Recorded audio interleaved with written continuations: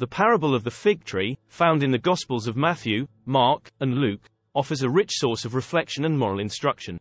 Let's explore this parable, especially focusing on its presentation in Luke chapter 13 verse 6-9. Jesus narrates a story of a man with a fig tree planted in his vineyard. When he came seeking fruit on it and found none, he said to the vine dresser, For three years now I have come seeking fruit on this fig tree, and I find none. Cut it down. Why should it use up the ground? But the vine dresser answered him, Sir, let it alone this year also, until I dig around it and put on manure. Then if it should bear fruit next year, well and good, but if not, you can cut it down. The owner of the vineyard is initially impatient and demands the unproductive tree be cut down.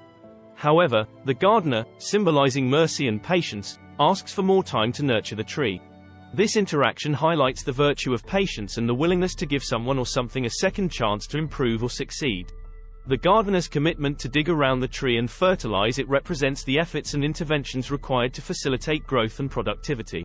This can be seen as a metaphor for how we, as individuals or communities, should nurture and support each other's growth through education, encouragement, and spiritual sustenance.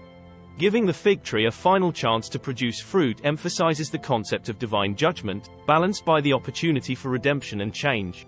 It's a call to self-examination and repentance, emphasizing that transformation is possible with time and care.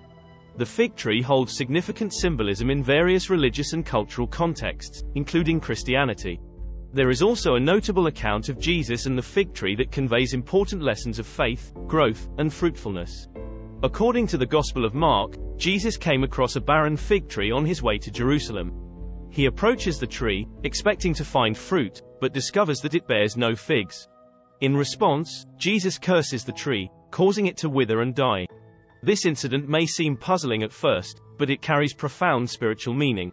In Mark 11, the fig tree has no fruit because it was not the season for figs.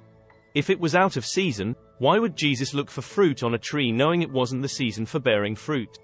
The truth could be that it has no figs despite it being in season. The fig tree is a symbol of our spiritual lives. Just as Jesus expected to find fruit on the tree, God desires to see fruitfulness in our lives as well.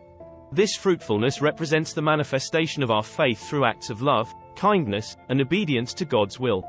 The barren fig tree symbolizes a lack of spiritual productivity or the absence of genuine faith. It serves as a reminder that we are called to bear fruit in our relationship with God and in our interactions with others. We are called to live out our faith, not merely profess it. A life marked by the fruit of the Spirit should follow naturally from a sincere faith in God. The fig tree was barren because it lacked growth and development. Similarly, we must continually nurture our relationship with God, seeking spiritual growth through prayer, studying the scriptures, and engaging in acts of service. Jesus' curse upon the fig tree illustrates the consequences of a fruitless life. When we fail to bear fruit and neglect our spiritual development, we risk spiritual stagnation and estrangement from God.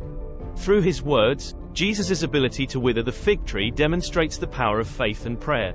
It reminds us that through a genuine and active faith, we can overcome obstacles and see God's transformative power at work in our lives. It challenges us to examine the state of our faith and encourages us to cultivate a vibrant and fruitful relationship with God.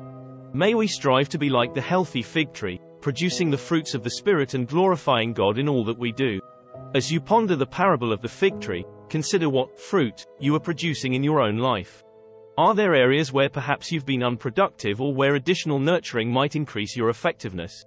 Like the fig tree, each of us needs care and attention, sometimes even a second chance. This story encourages not only personal growth but also patience and support for others in their own journeys. God's grace often gives us additional opportunities for growth and transformation, which we are called to respond to with renewed commitment and vigor. Thank you for watching this video. Please press the like button, smash the subscribe button, share, and leave a comment.